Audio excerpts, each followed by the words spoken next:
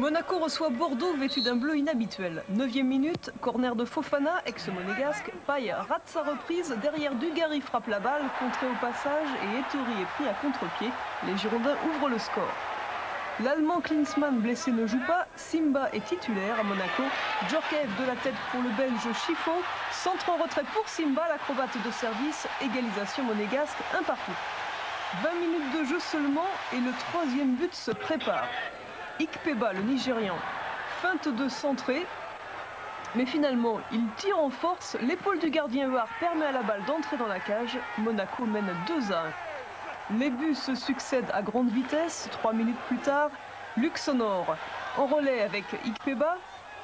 Au second poteau, Simba, équilibriste encore pour une reprise de volée difficile. 3 à 1 pour Monaco.